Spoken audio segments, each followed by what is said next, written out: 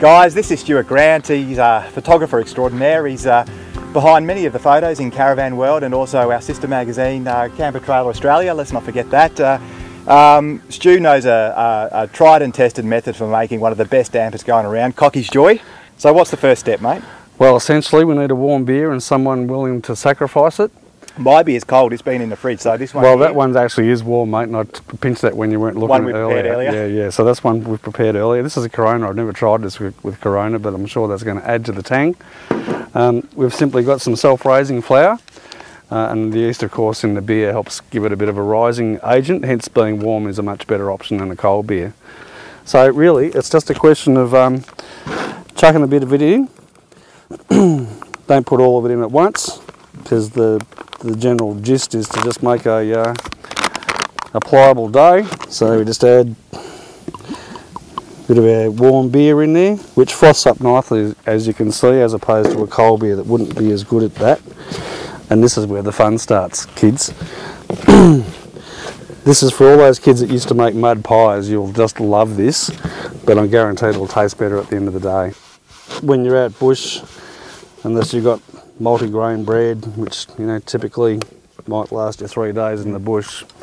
You know, this is a, a, a good way of supplementing your uh, your stocks when you're out in the boonies.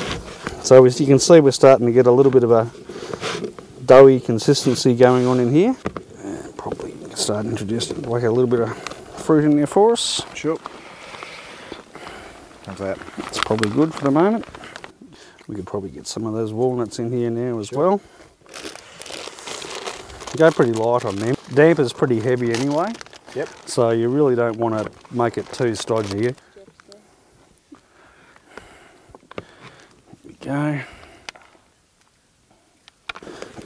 So now we just knead that through and looking pretty good. Get our consistency as even as we can. That looks like a dynamite damper dough. What's the next step? Well, the next step, mate, is to get it cooking on the coals. Show us how. Okie dokie. Well, we need to liberate some of them from the fire. You need to be able to regulate the heat to some degree, so we take the coals out. Let's add raw damper dough going into the pot. Keep that nice and central. And then we just pop this over to the fire.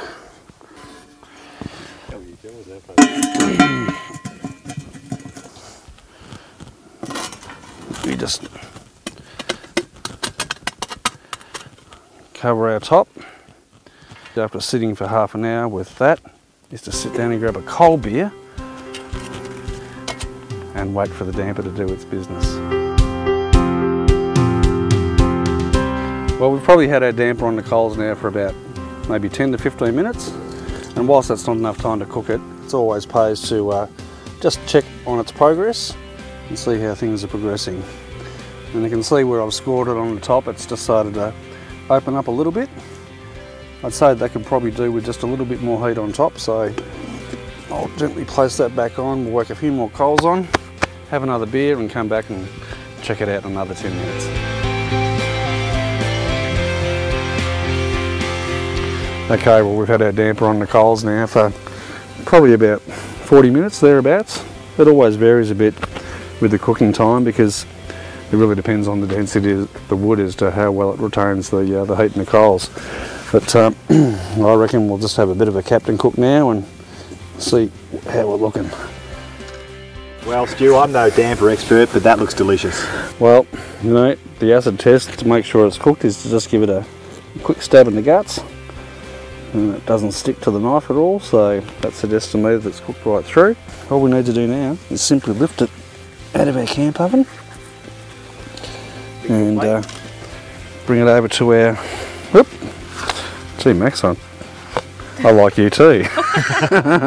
you obviously want the corner bit of the crust don't you?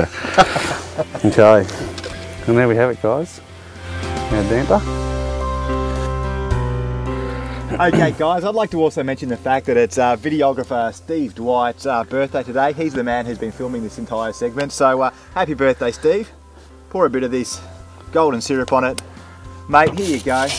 Happy birthday. Cheers. Heath.